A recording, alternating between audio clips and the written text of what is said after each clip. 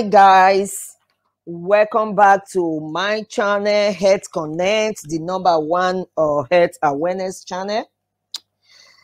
In this video, we're going to be talking about the death of an American uh, doctor, a 56 years old man who died 16 days after taking the C19 uh, vaccine.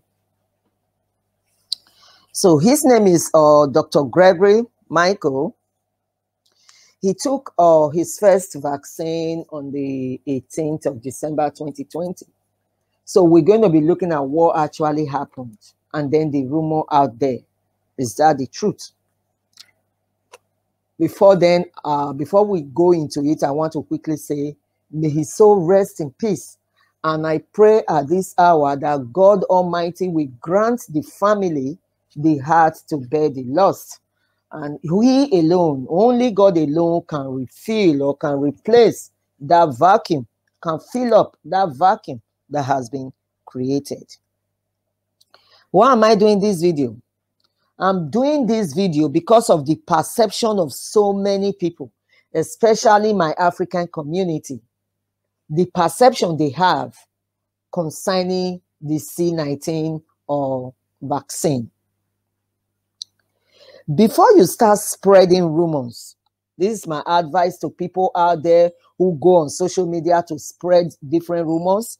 Before you start spreading rumors about anything, about anything at all, whether medical condition, wherever it is, please, please, please make sure you know or you have a good information about what really happened.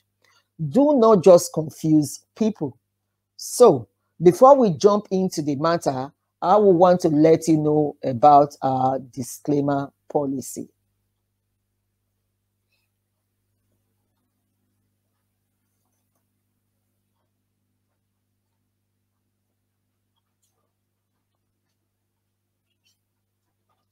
Now, we're going to talk about the death of late Dr. Gregory Michael, who died 16 days after taking uh, the C19 vaccine. As we have gathered, he died of a condition known as hemorrhage in the brain. In the medical world, there is one particular thing, is not a particular, there is one thing, is very common, it's known as pathophysiology. Any condition, whatever is going on. They want to know the pathophysiology of it. So, like in this hemorrhage, in the case of this brain hemorrhage or hemorrhage generally, I want to quickly touch a little bit, just a scratch on the a scratch on the surface of hemorrhage because hemorrhage is a very big topic. But I want to scratch a little bit on the surface and quickly take you through what is hemorrhage. What is hemorrhage? Hemorrhage is uh, an acute loss of blood. It could be chronic, but I'm just defining it in a very simple way. It's an acute loss of blood from a damaged blood vessel. Hemorrhage could be minor or it can also be severe. Yes. So, when you say minor, it means that, yeah, this type of like you can see under the skin which i'm going to show you now. Under the skin you see uh, some blood showing. But in african skin it is very very difficult to identify with the african people because our skin is black. But for some africans who are who are a bit on the light side you can easily identify it under their skin so when there are some spots on your skin, it shows some like there are some blood, it's like rashes. So it could be, though other things could cause it, but I'm not saying it's any uh, skin bleeding uh, under the skin bleeding you see on your skin is uh, hemorrhage is hemorrhage. No, I'm not saying 100% hemorrhage. The one I'm talking about now is called petechiae. So this petechiae is often presented like this on the skin On a on a light skin, you can easily see it, but on a darker skin with uh, like the African skin, it is very difficult to know. Now, that is minor hemorrhage. Now, when we say hemorrhage is severe, it could be very fatal. That's very dangerous. It could lead to death, like brain hemorrhage. It could cause stroke. That's bleeding now inside the brain. When blood vessels in the brain in the brain are damaged, those blood vessels they begin to leak blood, you know, leak out into the, their surrounding. So this could lead to stroke. So when you hear about what is called hemorrhagic stroke, just know that it is related to bleeding in the brain. Naturally, the way God, uh, uh, God Almighty designed the human body, He designed it in such a way that when there is bleeding, he, there is the opportunity of what is called platelets to quickly come together. When they come together, they gather together and they form what is called a clot. What does that clot do? That clot will now block that place where the bleeding is coming from. So the bleeding could stop. I will do it in a very simple analogy. You know, when we cut hand, when someone, sorry, I'm switching to my pidgin English, when there is a cut on your hand, sometimes they will tell you to press it. As you're pressing, you are kind of hastening the job of that platelet because they keep gathering, they gather. And once they gather, that place will be uh, that blood uh, uh, leaking place will now stop because the platelet have gathered and formed a barrier that the blood will not leak out. So that is the job of the platelet. They help us to like form clots. So, and then inflammation, inflammatory factors, they will all gather at that place. So God so designed the body that things respond automatically without you even knowing. They start responding they start responding inside the inside the body. They go into action. So that is what platelet does. But something with platelet when you see that somebody or uh, have a cut it could be for example a simple a small cut and it keeps bleeding keeps bleeding keeps bleeding. One thing you must know again there is a problem with the platelet forming a clotting factor you understand? That is it. So mark that platelet forming a clot. Now, what could be responsible that this man's, this doctor's or or brain, there was a bleeding in it and it did not stop. What happened? Now, so many things could affect our platelet level. When your platelet level is very, very low, they will not be able to form a clot. You understand? So I'm not talking about the vaccine. I'm talking about the hemorrhagic uh, bleeding that occurred in the life of this doctor that caused his death. Now, things like lifestyle, genetic, uh, yeah, genetics could cause it, and then uh, medications. I, I would have given a list of medications, but due to the way our African community react and they do things, when I put that list there, they can take a picture of it, and then tomorrow they will say, "Oh, the, we heard from one YouTube channel that uh, these medications are bad. They will cause hemorrhagic." Uh, they will cause internal bleeding for me. No, that's not what I mean. So, but for that simple reason, that's why I cannot put any names. I cannot name any medication here. Now, so lifestyle, medication, medical condition, genetic reasons, and even some nuts, some food that we eat. I'll give you one example, like walnuts.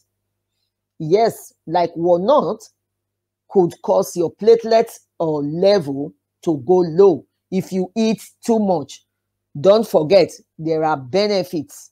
In medical world, we always talk about benefits outweighing the risk.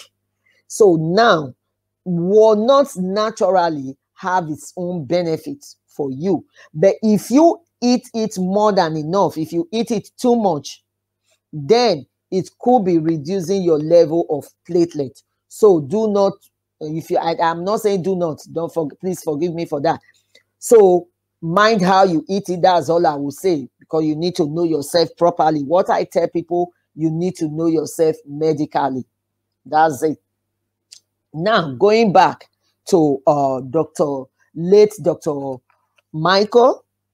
So, in his case, Dr. Gregory Michael, it was said that few days, few days after taking the C19 shot,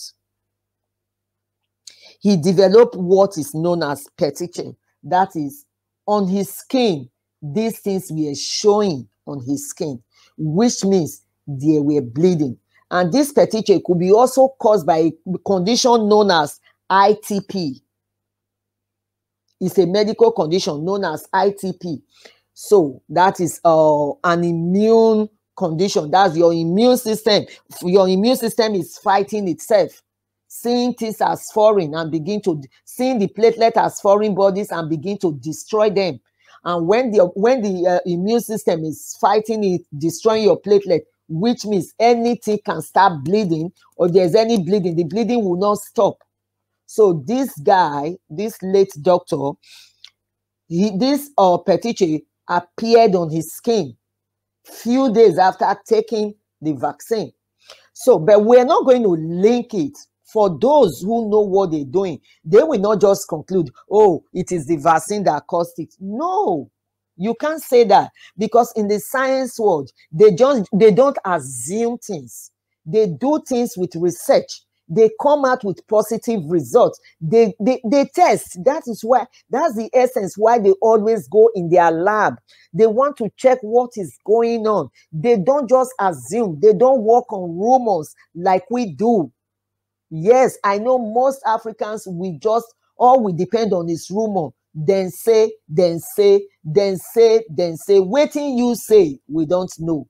But then say, and who said it? No name. You understand? So that's why I'm very careful because if I make mention of anything here now, people will say, Oh, I heard for one YouTube channel, Health Redeem. This is what I heard.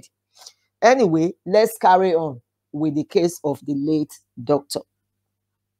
So he developed this, which shows his platelet count were going down. They were going down. Yes. So he had to go into the hospital. The colleagues, they tried. They tried all forms of medication they knew they could use in order to increase his level of platelet count so that the bleeding could stop. It's just that it was so unfortunate they lost him. That is it. Now, the the the million dollar question here is what happened? Was it the as a result of the low platelet count or was it as a result of the vaccine? That is the big question. These are questions you should ask yourself. Remember you can be a brother and a sister from the same mother you can be twins but your body will still react differently. So, was it reacting? Was it a side effect of the Pfizer vaccine? Do we know? We don't know. We need results. Now, when this happened, trust, you know these people, they don't joke. No, they don't joke with uh, anything. When it comes to death like this, the Western world will always investigate. They are not saying, they are not going to say, oh, it has occurred, let him go, we'll do this, we'll do that. No, they contacted Pfizer immediately to ask more about their vaccine. And of course, we all know what would be the answer from Pfizer. They said no. Even low platelet count is not, is not one of the side effects of their vaccine. Of course, as we all know, if you take vaccine, normally there could be like a light fever, cold for some, you know, a little bit of high temperature for some people, and not even everybody. Because I took my flu jab. When I took a flu jab, so many people said, Oh, they took flu jab, they felt this, they felt that. I did not feel anything when I took a flu jab. So now, Pfizer said, No, it's not related to their vaccine. Fine. Now, where is the problem? Could the problem be as a result of the ITP? That is low platelet count. Could it be? We don't know. Now, the next step is what could have caused the low platelet in his life? What caused low platelet? Like I said before, many things can cause or give rise to ITP. For example, disease, family history, medication, even some food, even no C19, because maybe after the vaccination he caught C19. C19, you know, fighting with the immune system and all.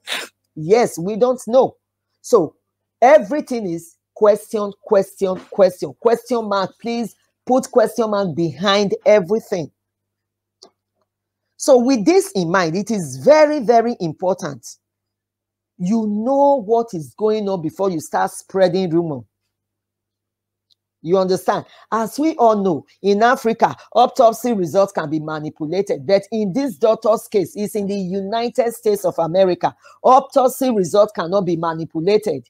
They can't even brush it under the carpet and say we are not talking about it. No, they are going to find out. So the Florida uh, Center of the Florida Medical Examination Center, they are investigating this matter. So please let not carry rumor about that it is the vaccine. So now Africans are discouraged. Now, when you tell an African, go and take, uh, have you taken your your vaccine? Oh, I'm not taking this vaccine because they said the vaccine is killing people. Who told you? How did you know?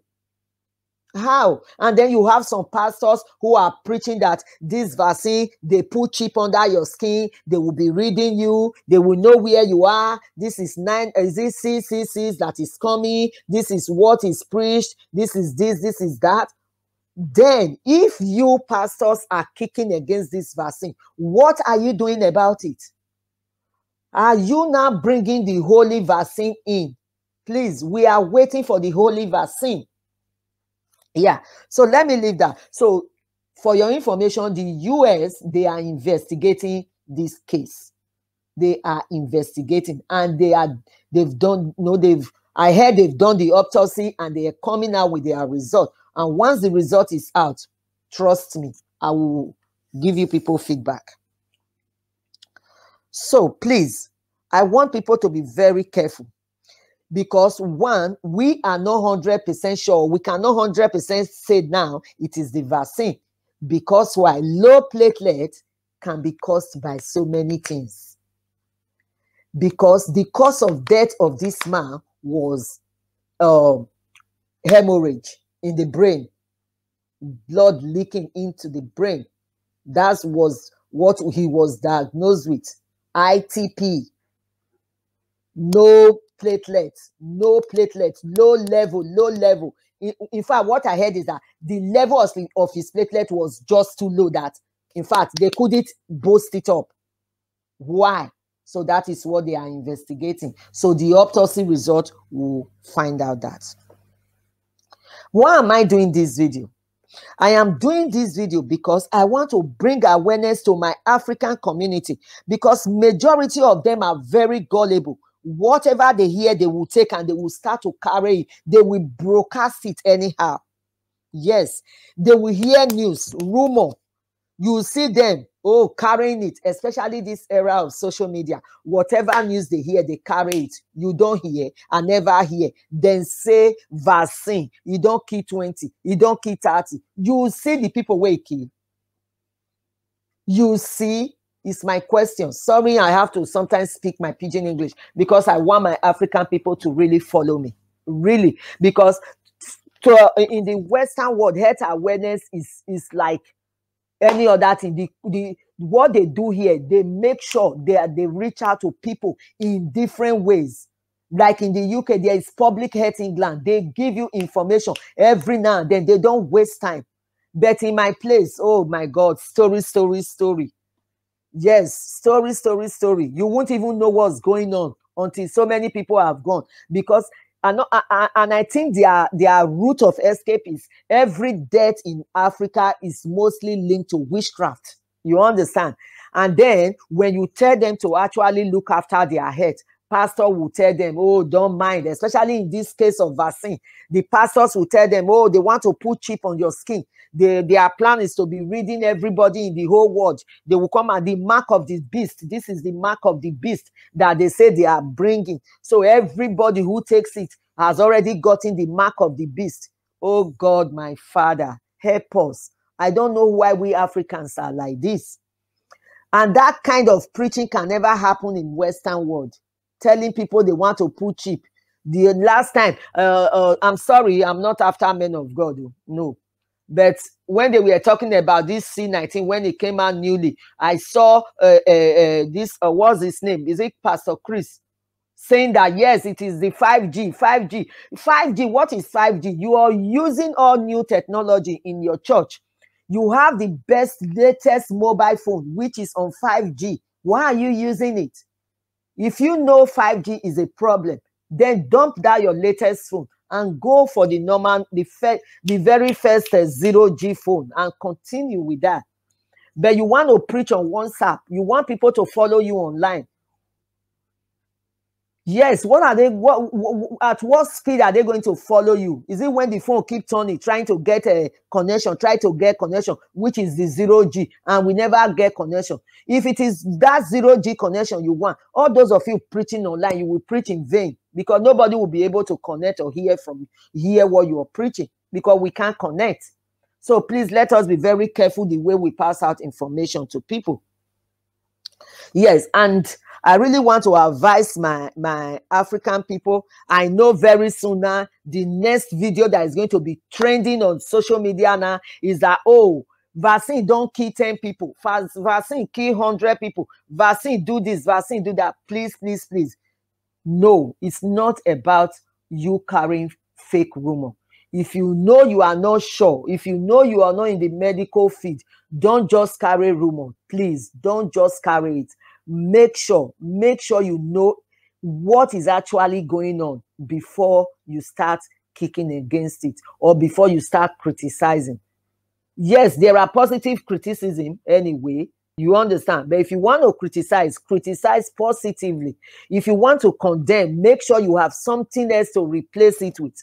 So i'm actually referring to those men of god and those rumor carriers social media rumor carriers that will come up with uh, their rumor, come up with their topic, and then start to blow it around. And they have a lot, they have a large crowd following them. That's what's paining me. This kind of my video, oh, who will watch it? No, they will say maybe few people, but these people that carry fake rumor, oh go and look at the view millions of you i'm not jealous of you anyway i'm not there because that's not my that's that's not my my goal my goal is to bring awareness to as much people as I can.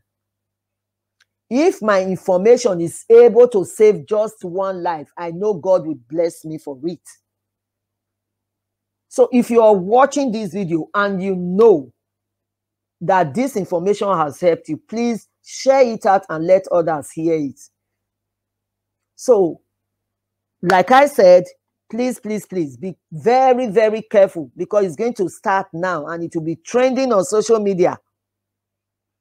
This number of people have died. The other number of people have died. Please be very careful. Be very, very careful. So when people are telling you, do not take this vaccine, ask them, how do they want you to protect yourself against this C19? Because there's a video I'm going to do. C19 is real is real. You need to protect yourself. Stay home and stay safe. If you know you can't stay home and stay safe, try as much as possible to put everything in place to save your life. If you're going to work, make sure you have your mask on. If you are at work, make sure you have your PPE on. That is what I do. Really, this thing is real. I never believed it before, but I'm telling you, it is real according to one of our celebrity in Nigeria, is it P Square? The twin boys. I don't know. I don't really know their names. Anyway, I'm sorry. I'm not. I'm not like the saying you guys are not there. I know you are there. It's just I'm not uh, like no. Don't worry. I'll keep following you, so I keep your name in my head. So one of them caught this C19. He had an experience. He gave his honest experience, and I loved one thing he said. He said, Look, don't believe my testimony. Don't believe me. But when you get your own personal experience, you will believe what I'm talking about. Please let us stay home and stay safe. And then be very careful with this. Uh, uh, I'm not going, I'm not referring to all men of God because there are sincere ones among them these fake men of God who wants to be pastors and at the same time be medical doctor or be a healthcare professionals when they are not trained in the field, they don't have enough information, they don't have scientific backing for whatever they are saying in their altar, and they have millions of followers. Be very careful when you are listening to them when it comes to health matters. Really, be very careful. That is why I am preaching on my channel. You have to know yourself medically. Know yourself. How well do you know yourself? Ask yourself that question, please. Ask yourself, how well do you know yourself? So, one thing you must know again, please, when it comes to medical management or any disease management, the healthcare professionals who are responsible first thing first they do is before they give you any medication they go they do what we call weighing the benefit and the risk you understand? But the benefit always outweighs the risk. If they know they will give you a medication and they know that oh the side effect you are going to get is that you will get a little bit of rash and that rash is not going to kill you they will give you that medication. There are some people when they come to us oh we ask are you allergic to penicillin? He said yes. Okay if you are allergic to penicillin what happens if you take it? And then he tell you oh if i take penicillin i get uh, rashes on my body you can the, the doctor can decide to go ahead and give the penicillin but if the patient says oh when i take penicillin i have an anaphylactic shock nobody is going to give you because anaphylactic shock will lead to death so your doctors, your healthcare professional, the healthcare team, they don't just, they are not just there for fun. Me that is talking to you people, I did a video and I said, look, the nurses, I give you guys thumbs up. Really. I give you guys thumbs up because even in this era that we are now, you still see them walking. Is it that they are immune? No, no one is immune against death. When death, death can take anybody, can claim anyone. But you still see them going frontline workers. God will protect us. I am not just talking. I am a frontline worker. Really, if you know, if you have enough information and you're able to protect yourself, you will not be putting me at risk. I don't live alone, I live with my family. If I go out there and work because I can't stay home, I have to work. I can't stay home. I can't stay home. I have to go and work. If I go out there and work and you are not shielding when you are supposed to be shielding, you are putting me at risk. You are putting my children at risk. You understand? You're putting my whole family at risk. Please. And please, I don't know what to say again. I, all I need to say is please investigate listen to the right people hear what happened exactly before you start saying then say then say our pastor say uh, the other one for church that day then they preach say waiting? I don't know waiting happen sorry i have to know when the when the thing is more than an african we turn to our best language which is our pidgin english i'm sorry i have to say that really please please please stop carrying rumor concerning the uh, death of Dr. Gregory Michael, the Florida Medical uh, Center, they are investigating it. So do not carry that rumor. Oh, it is after the C19 shots. No, do not carry that rumor. Presently, what has been concluded is that he, he the, the, the, the cause of his death was um, hemorrhage in the brain, which is bleeding in the brain. So you need to know yourself and know what you're supposed to be eating because it could happen to anyone. It could happen to anyone. So please stop spreading fake rumors. You understand? Stop spreading fake rumor because I've seen so many or uh, YouTube people saying, "Oh, it is this, it is that." no don't don't spread fake if you are not a healthcare professional and you know you cannot justify whatever you are saying please stop it stop spreading fake medical rumors do not do that and you guys that, that run to your doctor when they tell I mean, sorry, that run to your pastors when they tell you you have a medical condition. Uh, do you know what is called art within your competency? The pastor can only preach the Bible. For me, I can never challenge any man of God when it comes to the word of God. I can't. But I know I know God for myself. But they cannot cajole me. When it comes to that Bible, they can't cajole me we might have a different understanding. Where I'm not clear, I go to them for them to explain it to me because I am not a pastor. I'm not trained. I don't have a degree in theology. No. So the same thing applies to them.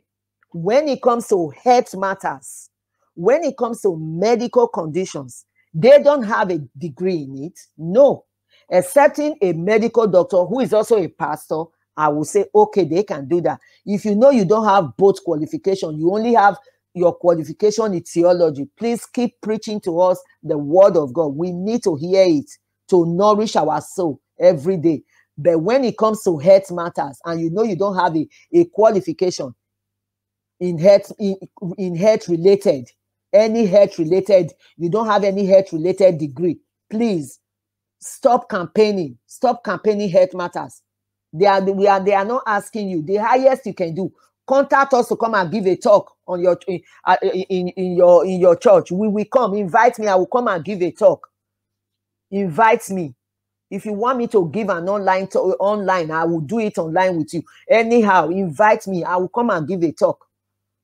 Stop informing people in the wrong way. Yes, please don't do that. It's time we stop all this fake rumor so i'm not going to yeah i'm going to stop because uh, when i'm doing things like this it really makes me angry when i see people deviating from their line when i see people deviating if you are not a medical doctor don't condemn medical uh, the work of a medical practitioner. No don't. You are a pastor. You don't you are not a scientist. You are not part of the research. You did not you are not working with pfizer. You are not working with moderna. Which one are you working with? You are not working with any vaccine company, but you are you've decided to come out that it is a, a what's it the chip that they are injecting in people's body. What do you mean? Please, if you know you have preached against it, better go and repreach it in your church or in your parish. I don't know where you are. Go and repreach it and let people follow the right way. And you guys listening to me, if you are not into or if you are not in any healthcare related uh, uh, profession, please, if you want to get your information, I will advise you get your information from the right source. Don't just speak from the. Uh, eh, you can get your information from your pastor if he's a medical doctor. But if your pastor is not a medical doctor and he's talking about it, don't accept it. He's just cajoling you. He's cajoling you. The money you will use in buying that medicine, he wants you to use it as church offering. That is what he's want. That's what he wants to achieve. So don't listen to him. Go and take care of your hypertension. I, I have a live program. Oh, sorry. Anyway, I'm doing a live program today. You will see a young girl who died, just 21 years old. Because people are not afraid until they see people dying, dying, dying, dying, dying. They don't uh, believe that uh, this thing is real. Anyway, let me end this uh, video here. Thank you so much. Please, if you've really enjoyed this video, I want you to share it. If you've gained a little awareness, I did not say 100% awareness, even 10% awareness from this video, share it with somebody else and let that person also get that same awareness. Really, share it. Share it, please. And again, if you, this is your first time, please subscribe. That's it. Subscribe to this channel. I'll see you in my next video. Thank you. Bye.